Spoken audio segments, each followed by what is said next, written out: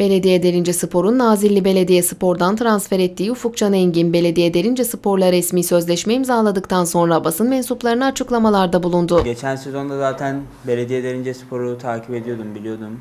Ligin en iyi takımlarından biriydi zaten oyun olarak da, kalite olarak da. Ee, playoff'a zaten kalamaması büyük talihsizlik oldu. İnşallah bu sezon e, başaracağız yani. Takviyelerle zaten takımda çoğunlukla bozulmadı. Takviyeler yapıldı. İnşallah bu sezon daha başarılı olacak. Yolun sonu inşallah şampiyonluk olacak diye umuyoruz. Bunun için ben ve takım arkadaşlarım zaten sonuna kadar mücadele edeceğiz. İnşallah. Gruplar belli oldu. Takımları Evet. tanıyorsun. Evet Nasıl bir- takımları Nasıl bir tanıyoruz. sezon bekliyorsun?